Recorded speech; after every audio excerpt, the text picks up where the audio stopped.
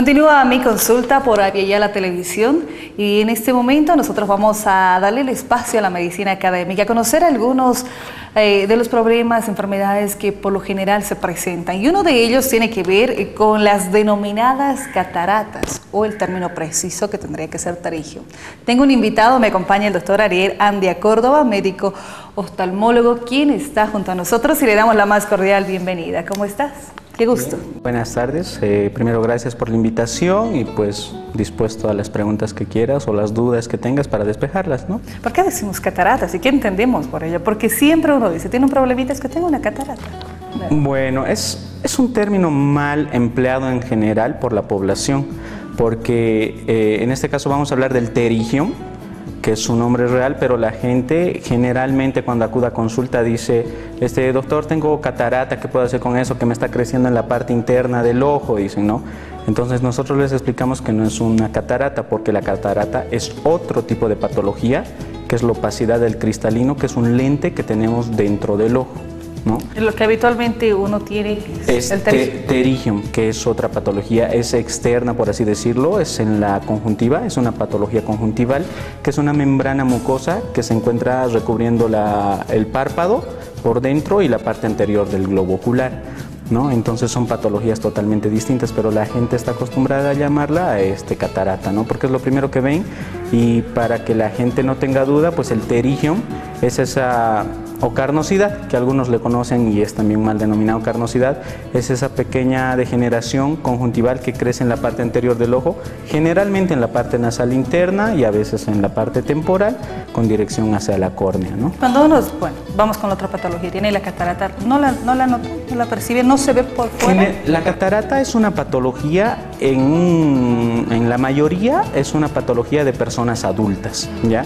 Entonces, ¿cuáles son los síntomas que nos va dando la catarata en sí propiamente dicha? Es la disminución paulatina de la agudeza visual.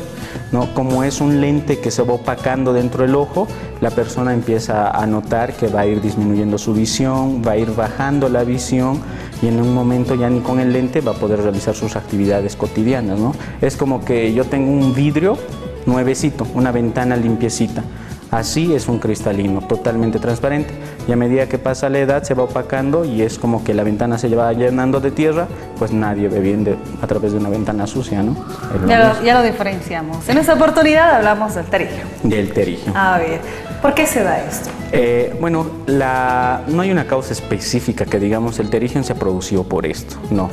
Hay varias postulaciones que refiere a la literatura, dentro de ellas es la radiación ultravioleta, por la latitud que tiene nuestro país, ah, entonces este, la radiación es mucho más fuerte y esto hace que se degenere y se inflame crónicamente la conjuntiva.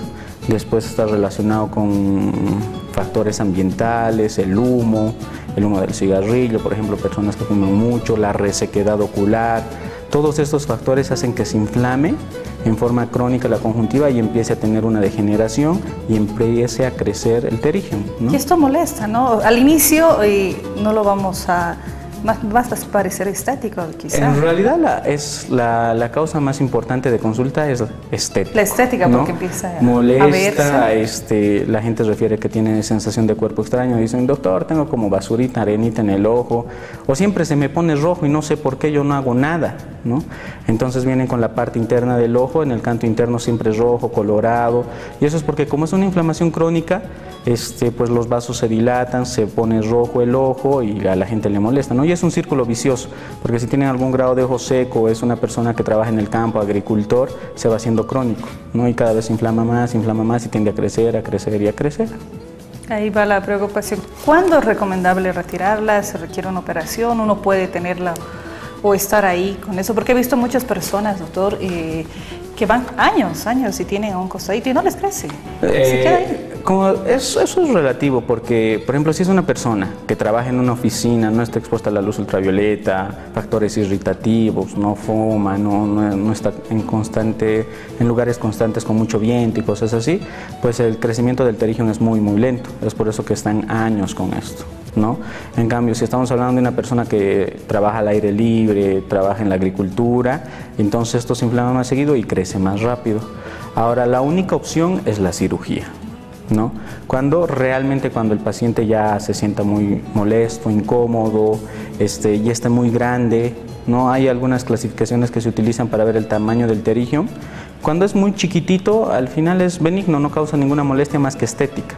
Pero si dejamos que crezca mucho, puede cubrir el eje visual y ya el paciente va a tener dificultades visuales, ¿no? Entonces ya es recomendable operarlos. Tampoco, hay pacientes que por el temor a la cirugía dejan que les crezca, póngase usted la, la mitad del globo ocular o de la córnea en realidad, que es un terigium bien grande y ya le cubre el eje visual, entonces nunca se han operado y ya cuando es así grande y se retira, pues esta ya deja ciertas irregularidades muchas veces en la córnea y todo eso. ¿Lo recomendable es retirarlo lo antes posible? ¿O, ¿O, cuándo? ¿En qué circunstancias? Eso depende de la persona. Depende de la persona en realidad, ¿no? Porque, y la edad, mientras, hay que ser sinceros en esto, porque este hay personas que se operan muy jóvenes y sí existe la probabilidad de recidiva, ¿no? O sea, así lo opera el mejor cirujano del mundo, existe un porcentaje descrito en la literatura que puede volver a crecer, ¿no? Que está entre el 15 y 20% más o menos, este, dependiendo de la técnica que utilicen. Eh, actualmente se utilizan algunas sustancias para evitar que vuelva a crecer o recidive esto, pero pues no es garantía, ¿no? Entonces, este sí puede Existe esa probabilidad, digamos. Y mientras más joven sea la persona, mayor es esa probabilidad, ¿no? Entonces, uno ¿qué haces? Evaluando el caso. Para sí, poder... dependiendo del paciente en realidad, ¿no? Porque hay terígenos que son tan, tan chiquititos que simplemente no, yo en particular no, no, no creo necesario, ¿no? Pero dependiendo del paciente. Hay pacientes que son súper exigentes estéticamente hablando, y ya cuando tienen algún puntito, un lunarcito, dicen, no me gusta y me lo quitan, me lo quitan, y ya dependiendo del paciente. El otro extremo, el que usted decía, cuando eh, han dejado pasar mucho tiempo y ya les ha obstaculizado, incluso ha llegado, si usted a un tamaño eh, grande, si vale el término, ¿es riesgoso dejar eso? Sí. En realidad no, porque es más superficial, a no ser que, eh, a no ser que hubiera alguna complicación, algo así, pues generalmente la mayoría de los pacientes van bien. No, no, no tendría en todo caso. ¿Qué duración tiene? Un promedio. Sí. Dependiendo de la técnica, hay varias técnicas. La con injerto este, puede durar entre 40 minutos a 45 minutos, y dependiendo de la colaboración del paciente, porque es con anestesia local. Entonces, si es un paciente muy nervioso que no colabora mucho, obviamente demoramos un poquito más. Pero si es una persona que entiende bien las órdenes que se le da y todo eso, porque nosotros interactuamos con el paciente. En el momento de la cirugía le decimos mire a la derecha, mire a la izquierda, mire abajo, un poquito arriba, para ir acomodando las cosas, ¿no?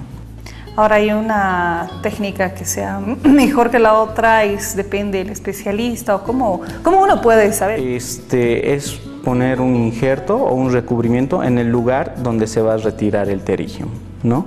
Que pues ¿Qué injerto qué implica? Es un injerto mismo de la misma conjuntiva del paciente, ¿no? Entonces, como esta es una conjuntiva mala, que se ha degenerado y ha crecido en forma exagerada, se retira esto y este, se saca un pedazo de conjuntiva de la parte superior o depende del cirujano y se la pone en el lugar donde estaba el terigio, ¿no? Entonces, depende de... Depende del, cirujano, y del paciente también. Y del paciente.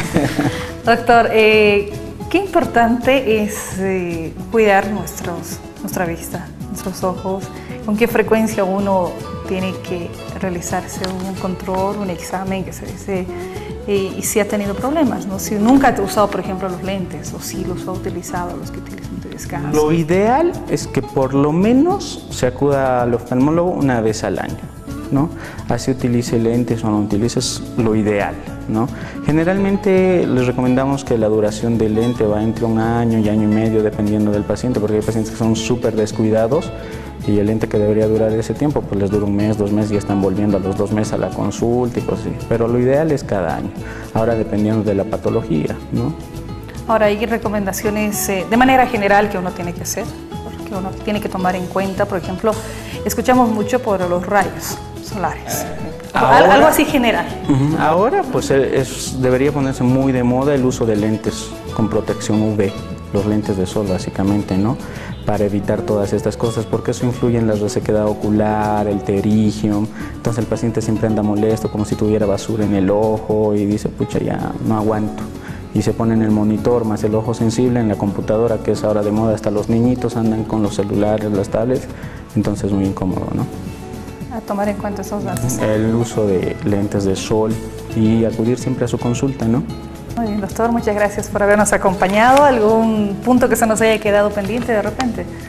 Mm, que la solución definitiva del pterigium es la cirugía, lamentablemente, este, y pues eh, no hay que creer muchas veces en lo que alguna gente anda ofreciendo, que pues es falso, ¿no? O sea, la solución es la cirugía. No, y y bien, y bien que toma el punto, doctor. Eh, se dicen gotitas que te, que te pueden recomendar, que esto es bueno para el ojo. ¿Podemos nosotros adquirirlo así de la farmacia porque se me ocurrió nada más? De hecho, hay muchos medicamentos que se adquieren en la farmacia por la cultura que tenemos. Lo que más utilizan es este vasoconstrictores, nafasolina, que es la, la famosa gotita del visional, red todas esas cosas que quitan el rojo del ojo.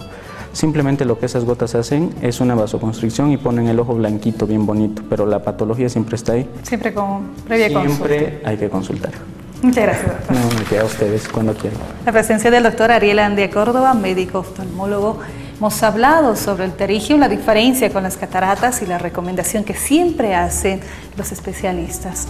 Visitar, hacerse un control, visitar al médico, al especialista de cada área por lo menos una vez al año. Nos vamos a una pausa en mi consulta. Enseguida volvemos.